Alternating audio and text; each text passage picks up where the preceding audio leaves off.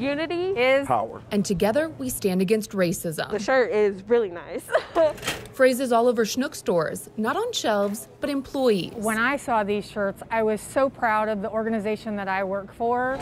Unity is Power is the name of Schnucks Diversity, Equity, and Inclusion Plan. And they're wearing them proudly. And as part of that plan, they decided to roll out shirts for their employees to wear over MLK Jr. Day and Black History Month. We wanted to take a stand and let everyone know that Schnucks stands together against racism. The shirts are optional. Employees can wear them if they want and many do. I love it a lot. And literally, when I first got it, I did not want to take it off.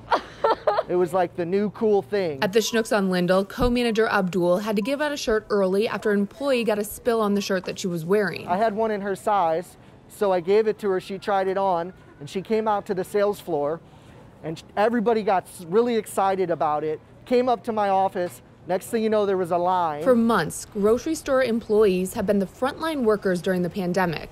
And this shirt has been a welcomed refresh button in the new year. I feel like a lot of people have realized that we're all in this together, right?